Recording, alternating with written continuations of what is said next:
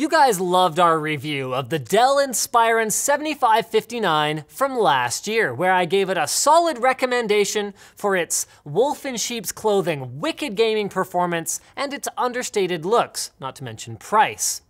Now, over the last year, Dell has been hard at work tweaking that formula, and they've even gone as far this time as to include gaming in the product name. But have those tweaks actually added up to anything substantial? Let's check it out.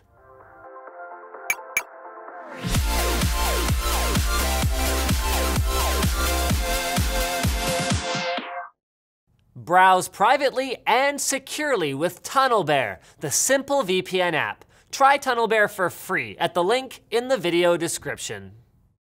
The Inspiron Gaming has a red matte finish with mean looking triangles on the front and the back. Hexagons are very 2016 as I've been recently informed. It mostly avoids an over the top look like some gaming laptops, but it is red, though if that's too shouty for you, there's a black version available as well. It's clear that thinness wasn't a top priority for Dell here. With lesser specs than the latest MacBook Pro, it's nearly double the thickness. But, assuming they used the extra space for cooling, I can't be too critical, especially if the intent is for users to game on it for long periods at a time. The build quality is great for a budget segment laptop. The chassis feels solid and the screen flex is about what you'd expect. Opening the lid is easy, and the hinge moves smoothly. If you took this thing 10 years back in time and told someone it costs less than $1,000, they wouldn't believe you. We've come a long way. The I.O. is more traditional than most laptops these days as well. It's unlikely that you'll have to reach for a dongle. Though, I will say, at least having the option for a Type-C or Thunderbolt port on a premium config would have been welcome. Our model is not the cheapest, but it hits a really nice sweet spot with just enough of pretty much everything for gaming and without spending extra money on an i7, for example, that doesn't make games run faster. I mean, that money could go towards buying books or beer. And gaming performance is really solid. The included 60Hz TN panel looks pretty good for a TN, with above average viewing angles from side to side, again for a TN. And on high settings at 1080p, which happens to be its native resolution, this laptop plowed through our test lineup comfortably, meaning that in between homework and Facebook, you should be able to run modern AAA titles without issue. Thanks in no small part to the strong performance of the Inspiron Gaming's cooling system. During our AIDA64 stress test, it was not only able to keep the CPU at a relatively comfortable 80 degrees, but the i5 was able to use its turbo boost the whole time too, meaning performance won't dip after a couple of minutes of gaming. It was far from silent, but wasn't disruptive, and it's much quieter than a thin and light gaming machine like a Razer Blade. And if that sounds good to you, you'll be happy to know the speakers are better than you might expect as well. The internal subwoofer doesn't add as much depth to the sound as the subs in their XPS laptops several years ago did, but overall clarity is good until some distortion creeps in at nearly full volume, as long as you're right in front. They're highly directional, so, if a diminished off-axis movie watching experience is a real turnoff for your friend, you might not be doing any chilling while you Netflix. Though, even if you have to be by yourself, at least you'll be doing it for a long time. Battery life came in at a very impressive 6 hours and 48 minutes, one of the best results we've ever seen in our PCMark work benchmark. And more good news, just like its predecessor, it's easy to get inside. All it takes is one screw. Okay, I'll stop that now.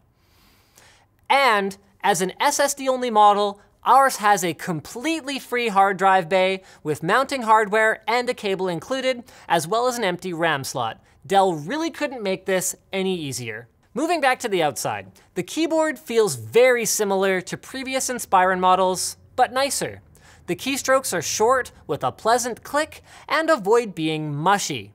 Spacing is a strong point, and there's a full numpad with appropriately laid out arrow keys. The red backlighting isn't bright enough to be having an Inspiron inspired dance party with it or anything, but it's functional. And if you're actually in the dark, you'll be able to read the keys. Can't complain. The trackpad is also quite good. The feel of the click isn't super consistent from the top to the bottom, but it performs accurately at high sensitivity settings, and it does a great job of figuring out when I have my thumb at the bottom for clicking, as opposed to when I'm trying to use multi-touch. Now let's talk about what you are not getting with a value model like this. The first unfortunate compromise is the one by one Wi-Fi, giving me a maximum speed of around 20 megabytes per second in my data transfer test. So if you want fast downloads, you will have to wire in. The storage is also rather slow. It is an M.2 drive and it is an SSD, but it runs at SATA speeds, not PCIe speeds. And Finally, the screen is far from the most vibrant and high contrast that I've seen. Now that IPS is the standard, even a decent TN looks washed out by comparison. So who is this laptop for then?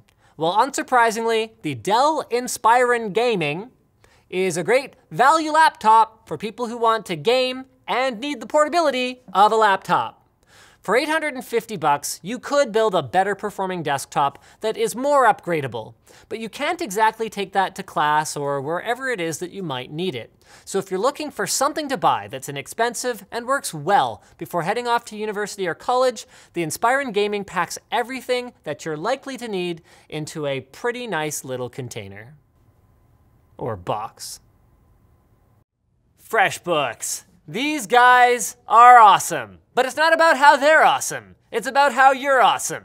If you're running a business, whether it's, you know, a dance studio out of your garage or plumbing or small-time computer repair, you probably would like to be spending your time being awesome, teaching people to dance, fixing computers, and not spending your time tooling around with complicated accounting software. FreshBooks lets you organize your time by allowing you to track expenses, track work hours, send out invoices, accept payments through the platform, and even see when a client has seen your invoice, putting an end to guessing games. So check it out with an unrestricted 30-day free trial by going to freshbooks.com slash tech tips and enter Linus Tech Tips in the How Did You Hear About Us section. Thanks for watching, guys. If this video sucked, you know what to do. But if it was awesome, get subscribed, hit the like button, check out the link to where to buy the stuff we featured in the video description, and also down there you can check out our merch store and our community forum. Now that you're done doing all that stuff, you're probably wondering what to watch next, so watch another one of our videos. Maybe another Linus Tech Tips, or Tech Quickie, or Channel Super Fun. We have so many channels. Just whatever you do, don't watch cat tips.